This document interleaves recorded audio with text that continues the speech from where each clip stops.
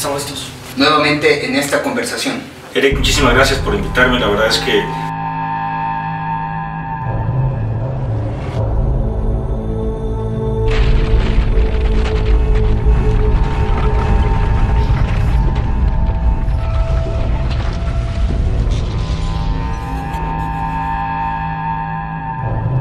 de Guanajuato compró medicinas no autorizadas de origen chino.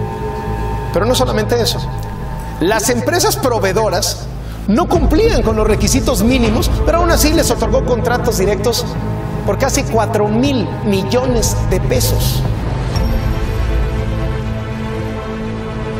A nivel estatal, donde el propio gobernador ha anunciado medidas para implementar en el caso del gasolinazo que se desprende de un anuncio que hizo la Secretaría de Hacienda el propio titular de la Secretaría de Hacienda, José Antonio Meade, anunció estos incrementos consistentes a la gasolina después de que un trabajo en la reforma energética donde tú estuviste involucrado, se anunciaron que ya no iban a haber alzas a estas tarifas en electricidad y en combustibles. Sin embargo, la historia es otra y han tenido que tomar este tipo de medidas tan drásticas.